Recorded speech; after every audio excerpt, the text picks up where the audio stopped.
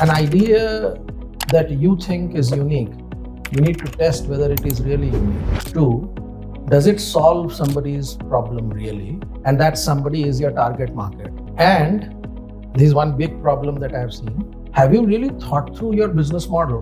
And within the business model, the revenue model. Where will the money come in from? You have an utopian idea which is going to be a world beating idea. In that excitement, you've forgotten to monetize how you're going to monetize that idea. You've not thought that through. So, without validation, uh, without thinking this through your business model, have you planned it and have you run it through with somebody who is able to look at it dispassionately and point out flaws? The second is